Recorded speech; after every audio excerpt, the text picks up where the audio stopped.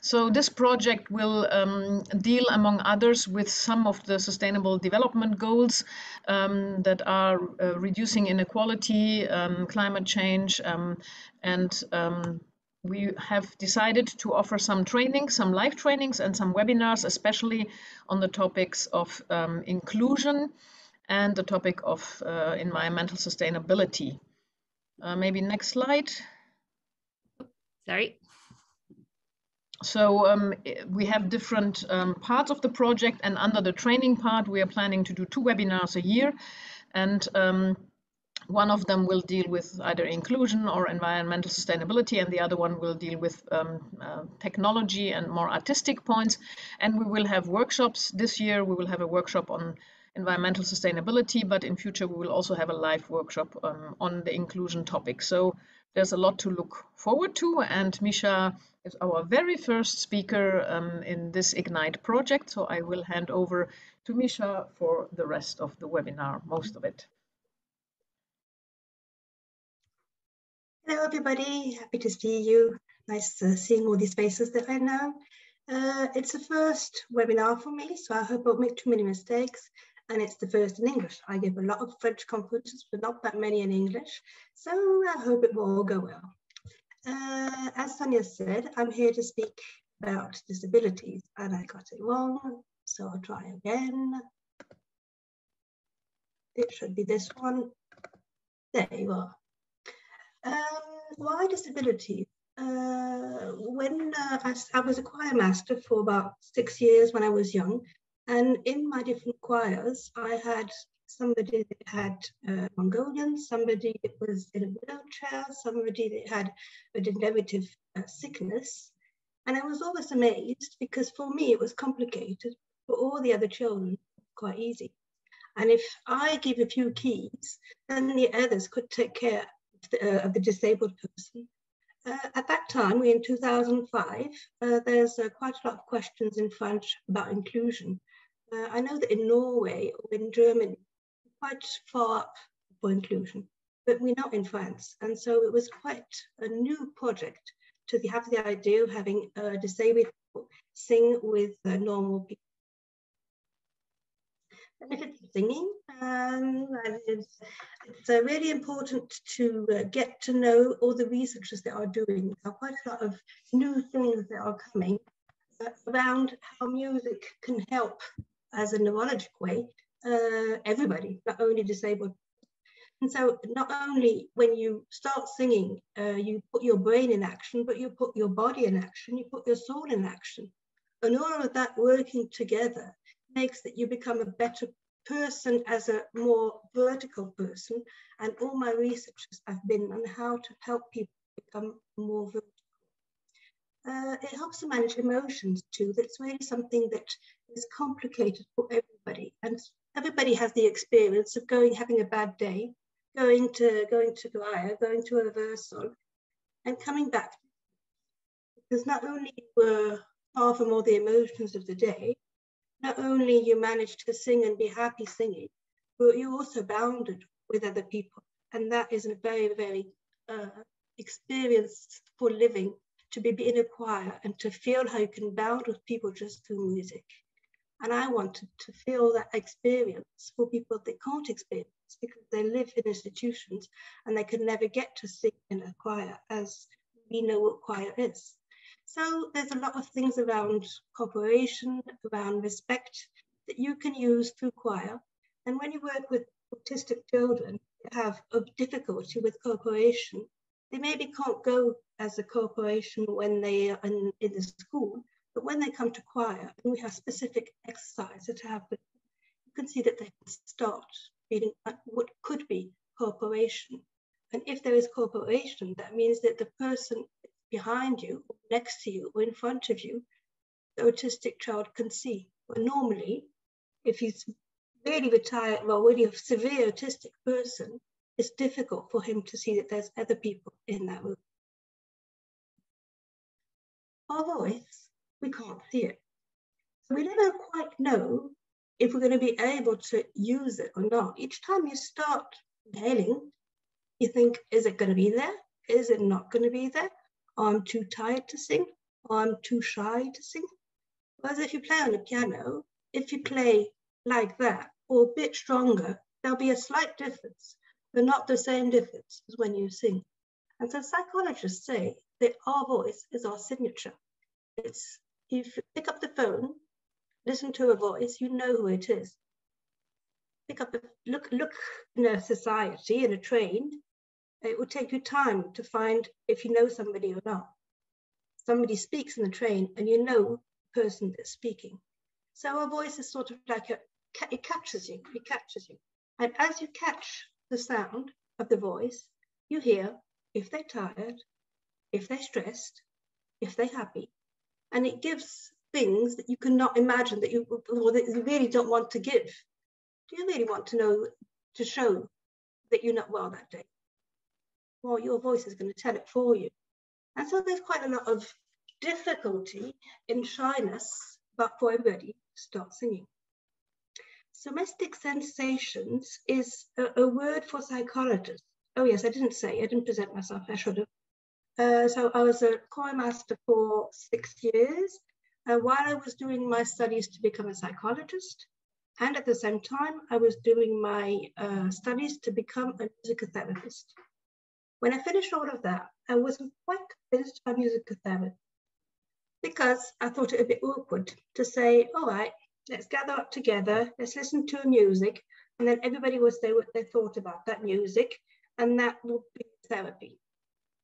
At the same time as I finished my studies, it was in 2001, and here came all the ideas about if we mix people together, what can happen? And I thought it was much more important to work on uh, inclusion than to work on as a musical therapist. So I then worked for about 10 years, something like that, for Cœur en Cœur. I'll talk about Cœur en Cœur after. Um, and then came the COVID. Mm -mm, COVID and singing doesn't go together. COVID and singing and disabled people doesn't go together at all. And at the time, most of my work was within uh, nursing homes. So nursing home and COVID and fire there was the end of my career. And on the 20th of March, when the confinement in France started, I didn't have any work anymore. So uh, it took me a bit of time to say, right, what should I do? Uh, I became a psychologist in an institution that has adults with autism. And then came the second confinement, and uh, I decided to become a psychologist uh, working for my own. So I now have three days with uh, the adults that have, that, uh, that have autism, and I have two days at home where I receive people from my town as a psychologist. So for the time being, I have no more inclusion choirs, and I gave them to others when they started again. See how that goes on time. Come back to our presentation. So our voice is the somatic sensation. That is what you feel in your own body. Uh, if you don't feel your feet, you can't sing. If you don't feel there's sort of something that's bringing you higher, I don't know how to say it in, in English, the, the voice isn't going to have the same sensation. So that's what you feel in your body and what you adjust to be able to sing. And then there's the corporality is in your voice. You can, uh, I can, and mostly most uh, choir masters can hear um, what, what image body you have. There's some people that have a huge voice and they have something like a corporality that's very, very, very big, very, very, very strong. And this is they have a teeny voice. You can sort of imagine. It's just an image. It's not a reality of how people can see themselves inconsciously. And that is really interesting because it's difficult to get to the inconscient of the person. So if you can get to the how the person, how you can hear the person, you can change the image of the unconscious image of the person in the way of helping change his voice. They're great. Yeah, super idea. Mm. Um, then comes a choir. Well, I like choir because when I'm in an institution and I start singing, there's no need for equipment. So that's quite good because I just need a few chairs and still. I just need a room and then we can start singing. Whereas if you have an orchestra, and you have to have the orchestra sing. You have to pay the instrument, well, buy the instruments, uh, get everybody to start learning how to read music. And it's quite a lot of work. Singing is most natural and probably the most old way of people to play music. It's also a group activity. Uh, if you learn your clarinet in your own room, and if you go to singing, it's really not the same thing. And it's a way where you're going to meet people. Um, I was part of the Chœur National des Jeunes, ma Joie, and uh, I have deep, deep, deep friendship from these people. Uh, it's, it's, there's quite a few that got married even. So it's quite fun to have an activity where you're going to meet. And as I said before, there's no musical uh, pre-request. Uh, you don't need how to read music. You can just hear a song and play the song after.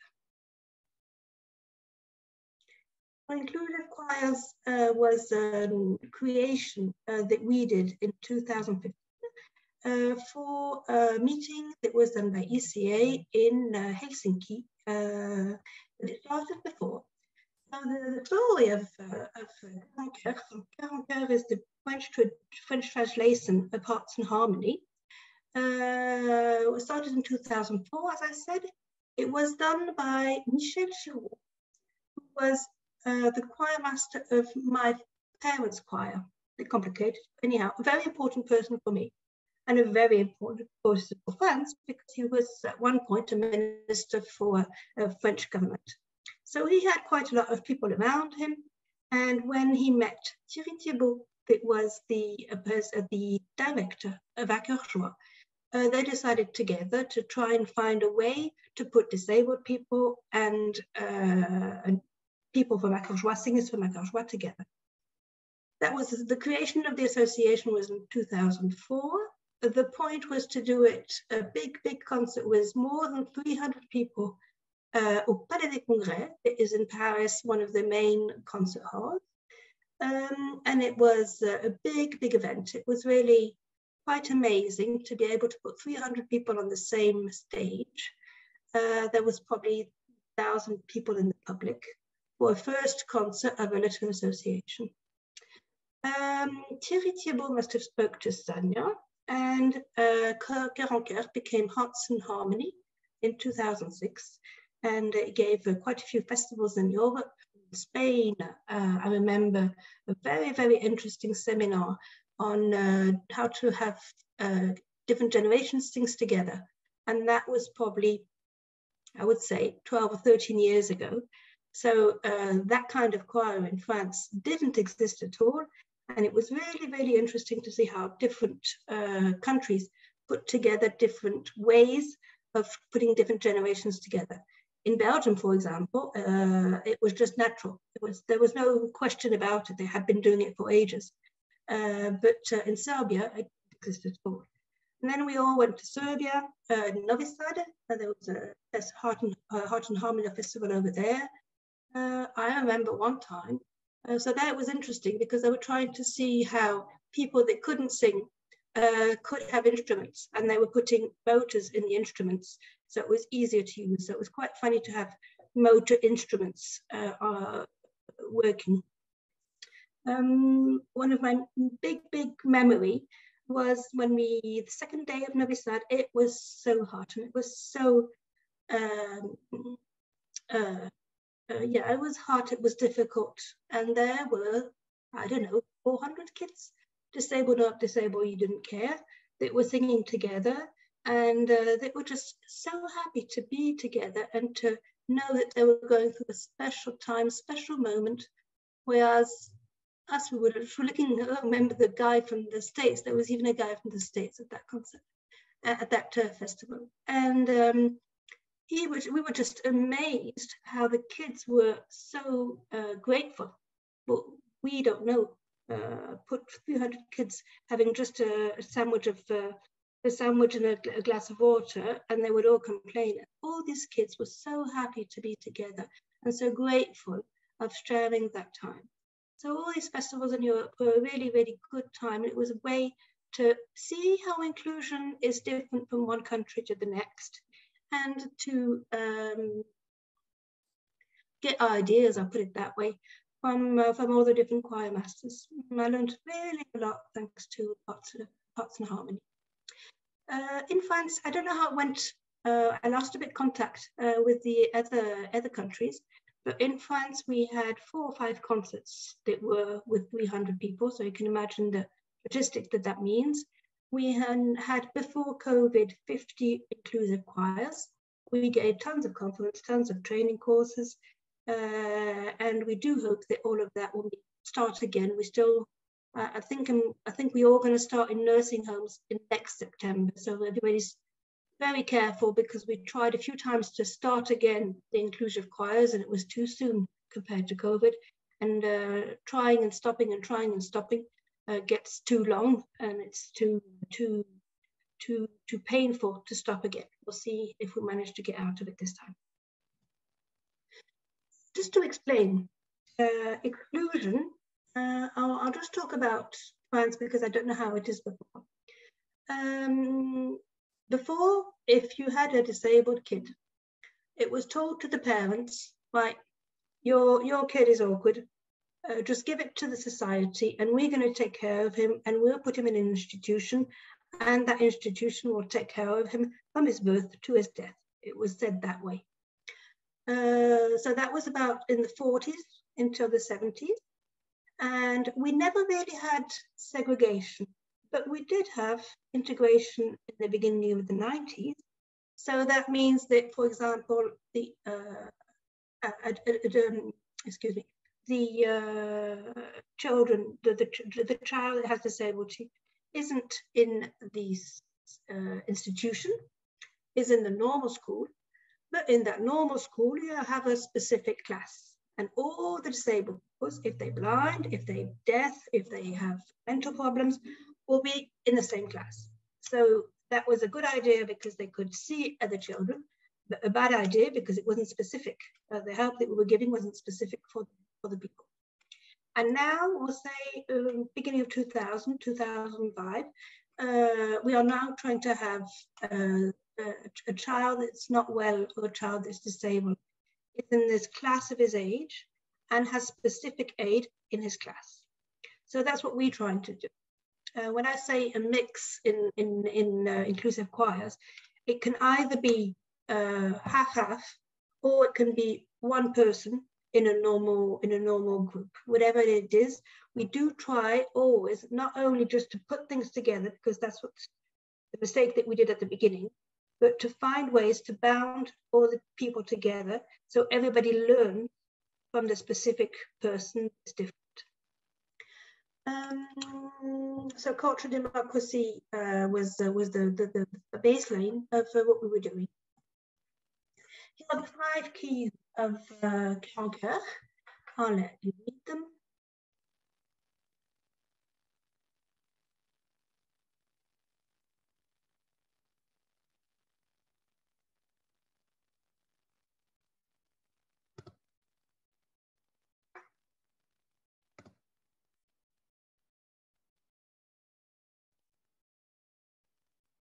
I don't see many faces, so I don't know if you're finished, but I will suppose that you are.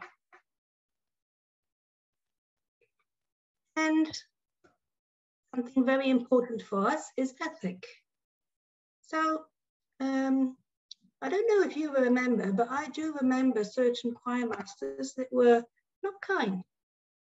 Their objective was to have a good choir, a good sound, but the chorus they were in the choir were just a tool choir master.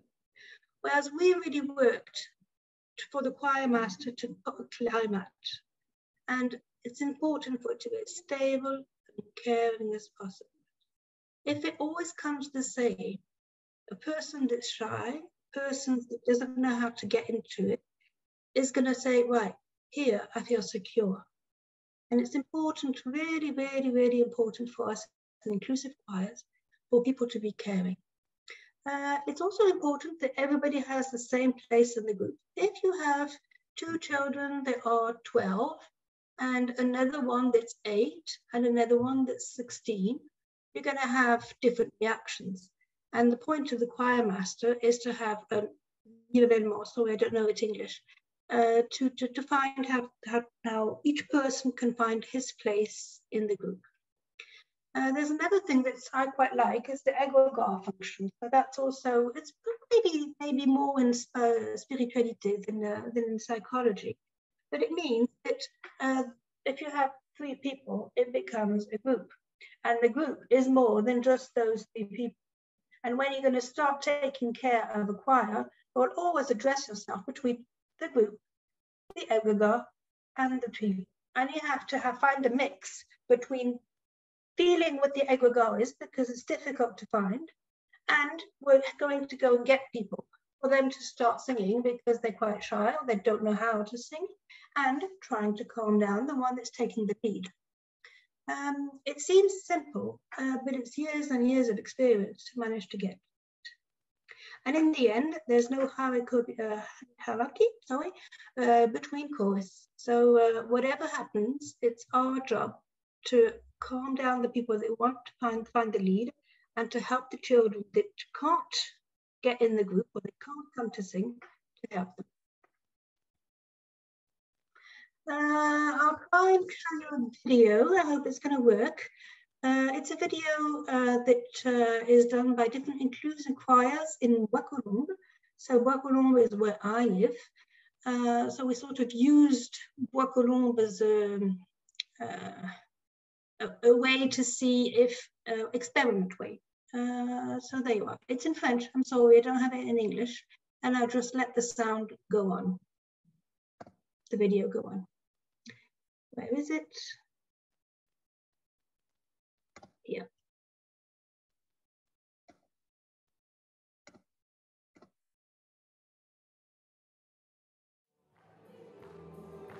You have sound?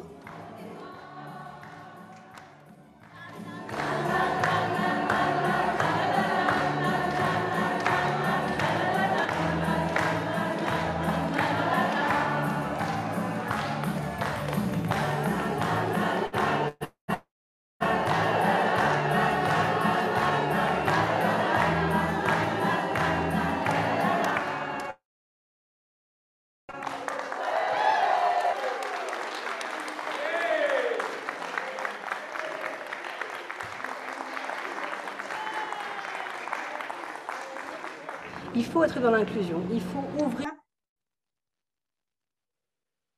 les portes des établissements qui reçoivent des personnes âgées. Les personnes âgées, on a compris, c'est très difficile qu'elles sortent de l'établissement. Par contre, que nous, on aille dans les maisons de retraite, c'est essentiel. Et pour les personnes... Seems to have a problem,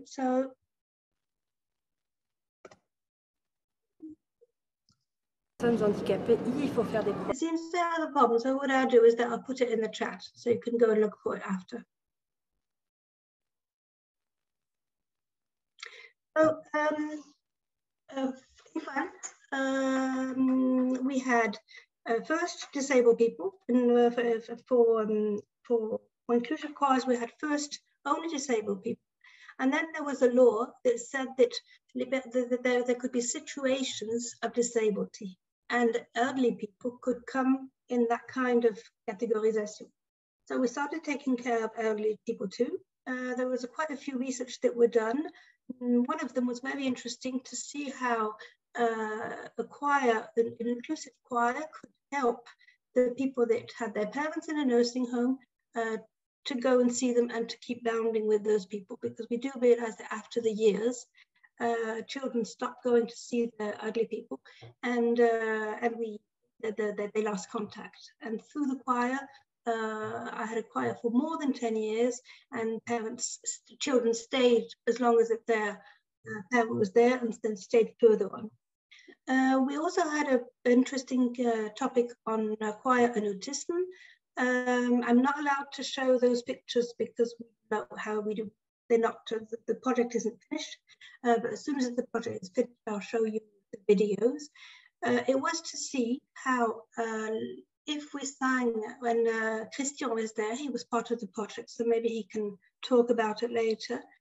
Um, it was to show uh, that maybe uh, through choir and through inclusive choir, we could help people to start uh, talking. And uh, there were quite a lot of results.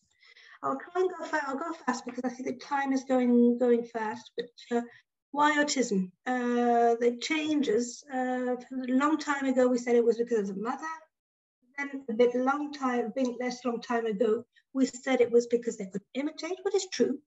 And uh, now we realize that there's uh, from conception a different uh, primarily visually and aud uh, auditory cortex, so that their brain isn't the same. Uh, and because their brain isn't the same, they don't sense the same way. Uh, for example, uh, where I work, I have an adult that cannot make the difference between if I was speaking, a plane was in the sky, and there was something like that. What you'll do straight away is concentrate only on my voice. They can't do that. So if you live in chaos and you can't sense correctly, the only way to protect yourself is to shut down. And that's one of the reasons of autism. One of the other one that is really important to understand in singing is that because of this sort of fog, they don't know how to uh, imitate. So something that is natural about to able to take a pen, you see your parents do it, you do it. And a little child that's one will stop taking things and understanding that it's a pen. If you don't teach, it's a bit, it's it's too too simple what I'm saying, but it is it's, it is that problem. If you don't teach him to say that that's a pen and you have to take your pen, he won't do it. But through choir, we realized that if there was something that was bound together by energy, they could find things that, we, that they can't do naturally. So uh, I'll just let you read that because it's a bit complicated to explain.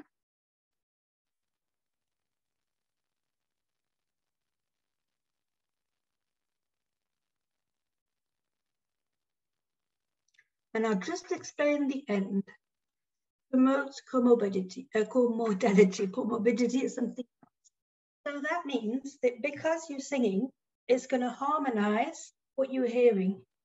So if we all sing together, it, you're not going to hear the plane anymore, and it's going to create a harmony that can help the autistic person to be only in the sound.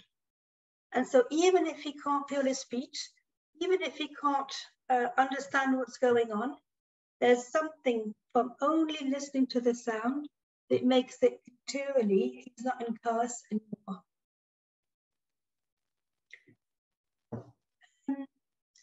Singing is easier than speaking.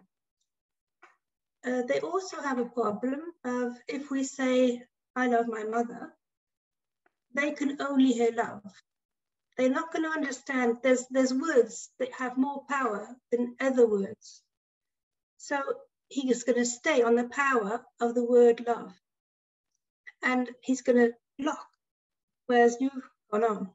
So even if you continued the conversation maybe an autistic person stopped at one because there's a word that had more color than the other words. Whereas if you're singing it's sort of like a band that's going on. And he'll follow the band, well, he won't follow the words. And that's what I was saying, meaning is more important, less important when you sing. If you talk, if you're just saying poetry, it has less impact than if you're talking to the person, the person hears your feeling, he's going to clack show your history to the feeling that you have for him and not to the words you say. So it was really, really, it was a four year study. Uh, it was supposed to be two, with COVID it became four.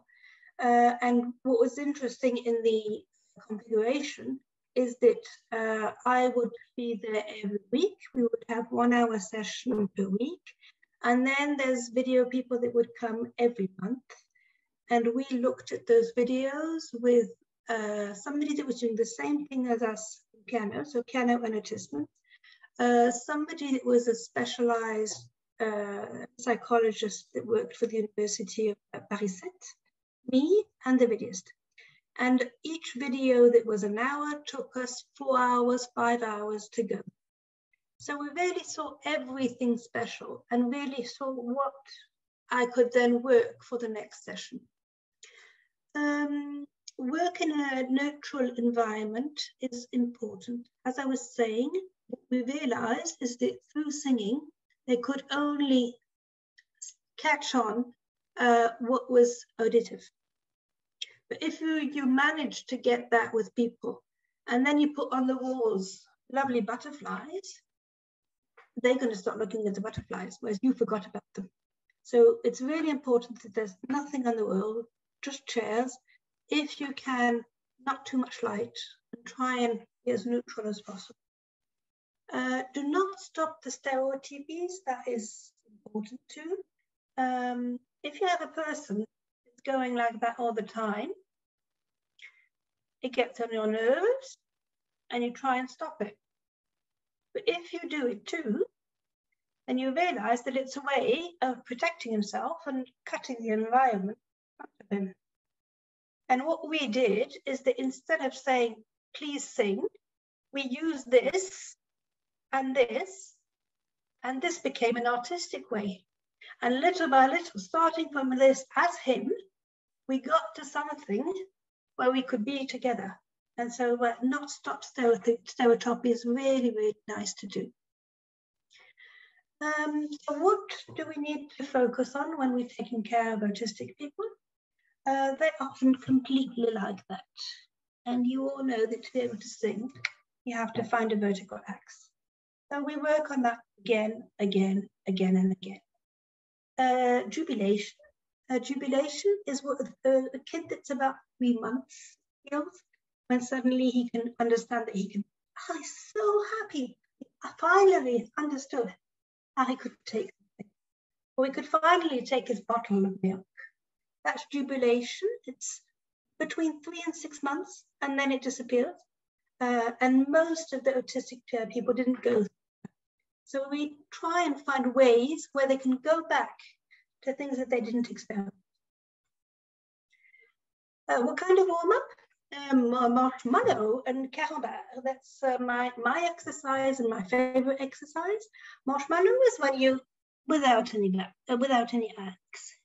And Carambar is a sweet French, France. Uh, it's some caramel that's very, very hard and it's a sort of a stick like that. Uh, and so we spend our time going, Carambar, uh, marshmallow, got it wrong, marshmallow, marshmallow. Another thing that's important that, that we like doing is the glissando. We, we, and our brain is made on both sides.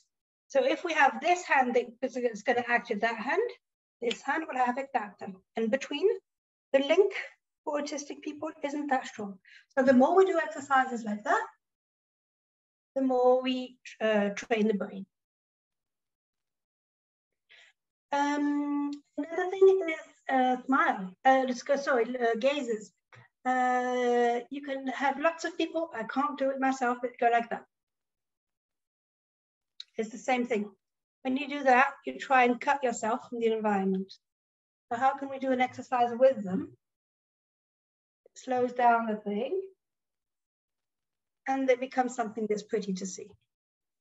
And then we're talking at, right at the beginning of uh, image, uh, body image uh, we realized that, for example, it's a good thing for them to put their hands behind their back because it's difficult to find your back. It's difficult to feel it.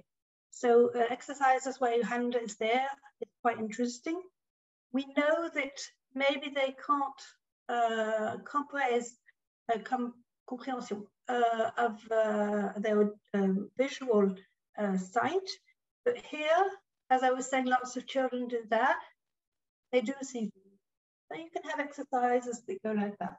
But it's completely different to do an exercise that's artistic and you only do it because it's artistic and they don't know everything that you're thinking in your mind.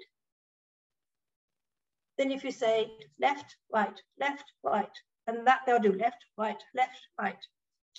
What I'm saying for autistic children is worth for also uh, all ordinary uh, course and uh, the more I see that Marie-Annick is there, and the more you work with different publics, the more you see different uh, ways of being in a choir, the better choir master you get.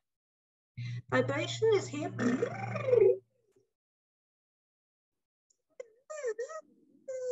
because all this mouth and all these cheeks are very, very not understood by uh, the people. And then continue tempo. Uh, it's quite it's quite long to say. You need that exercise to find. Uh, um, oh, I'll get it. That I use this.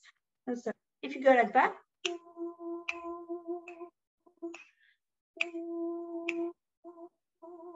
They can imagine when the end is, and so it's less scary. Um, and that's really something that we learned with Hélène, I say that for Christian. Um, if we looked at her in the eyes, she was scared. But she did like having people that were close from her. So if we uh, had an image where we had the person not looking at each other, it was much easier. And uh, a saturation is when a person can't understand what's going on, either because he's too tired or because he's, um, uh, how can I explain? Um, the environment is too strong for him. So if you're trying to do, you just do one. You don't sing and clap. Instead of doing two things at a time, you just do one. So what kind of feedback did we have from that first study? Uh, joint attention, being, being with the person as long as the person isn't with you. Uh, jubilation, I talked about it. Suddenly there was more sound in the, uh, in the choir and people were more singing together. Um, and there was something of uh, a joy to come back.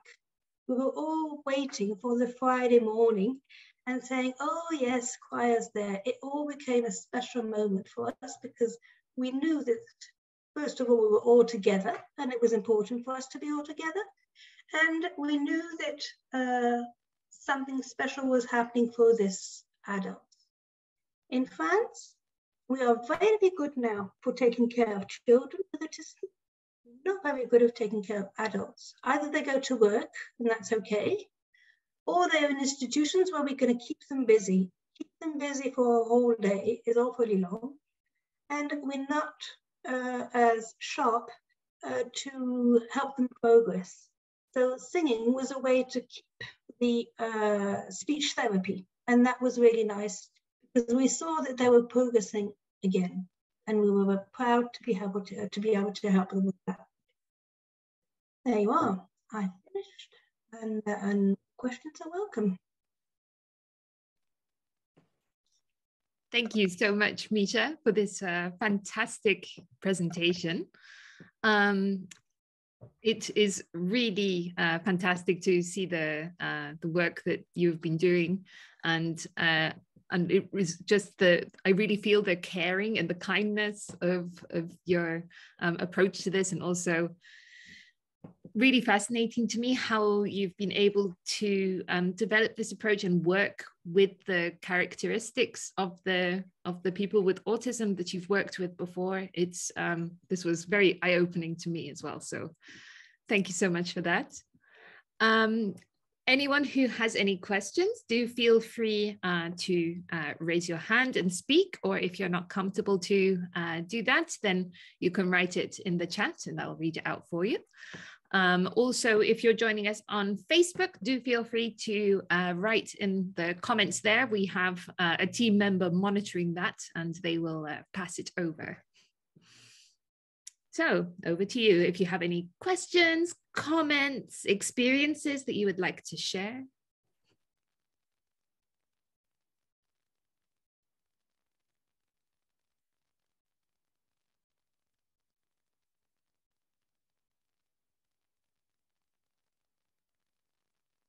Sonia.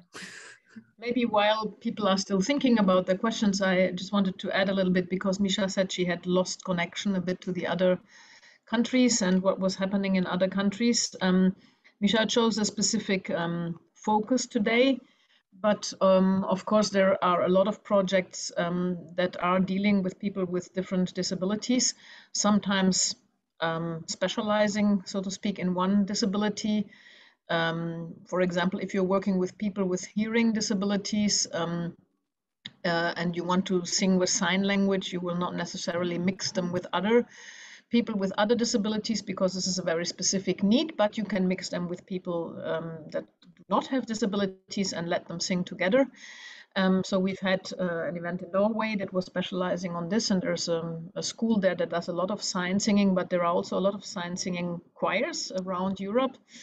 And then there's um, also often specific choirs for people with seeing, also seeing impaired people and blind people, um, who um, don't actually need any special attention for the singing as such, because usually this is very easy for them but they can't see the conductor, for example. So the conductor has to learn other techniques and maybe use breath and, and or noise to help them keep the tempo. And um, again, it's um, there are projects that bring people, um, seeing people together with others. And then we've had some that that really deal with people with multiple disabilities. I must say, I was in Paris at this concert in 2006, which was fascinating for me because we had all these different types of people on stage. So there we really had all kinds of people.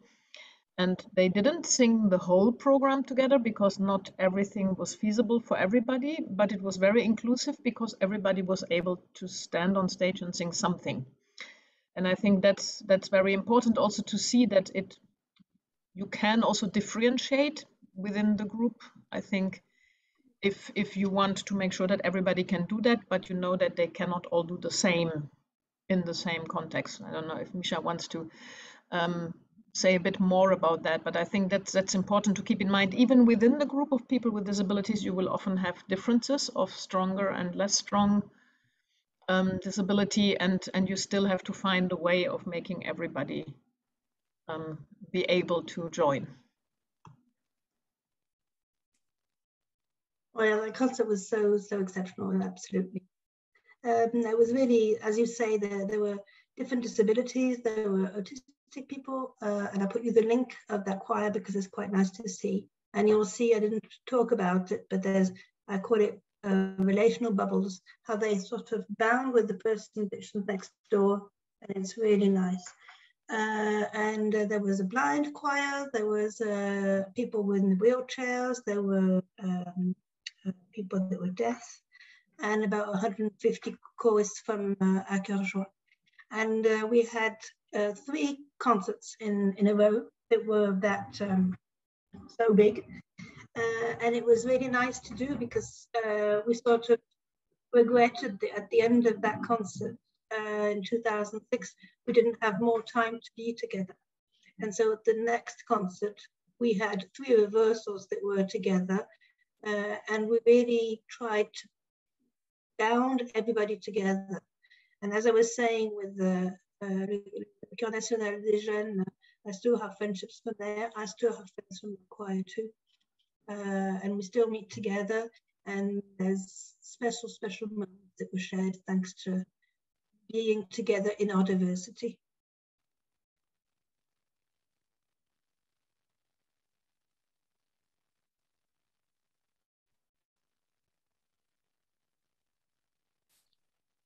Anybody else?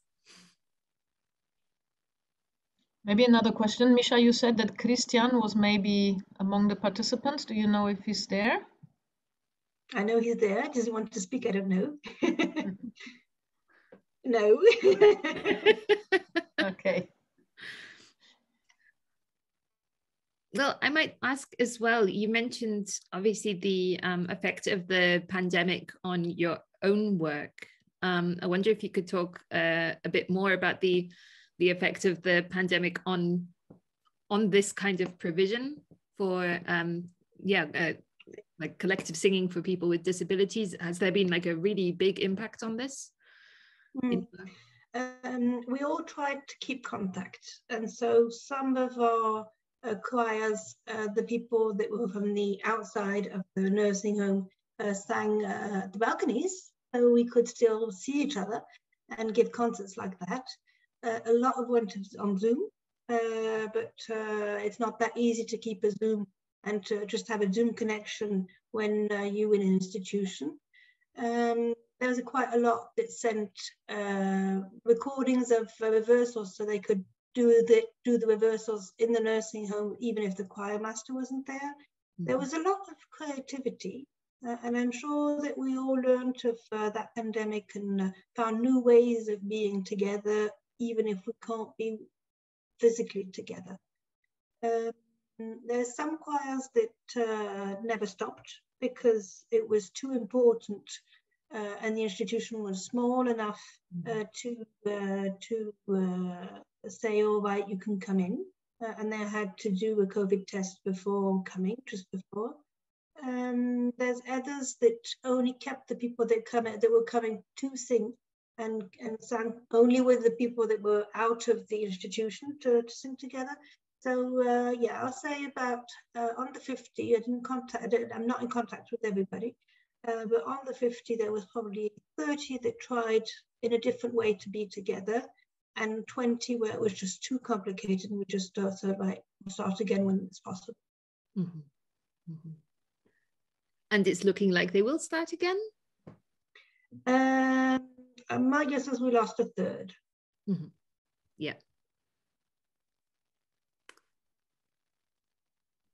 Anybody else? Uh, yes, Marianne. Um, yes, I will try to do. I have a bad uh, accent, and uh, maybe I will mistake with the words, but uh, uh just uh, um, I would like to tell something about uh, what I have done because I, when I was reading on the feedback to jubilation and what is very good after for how they feel. Uh, for the first time we had an experience uh, because I have a choir of uh, with teenagers from different uh, care homes.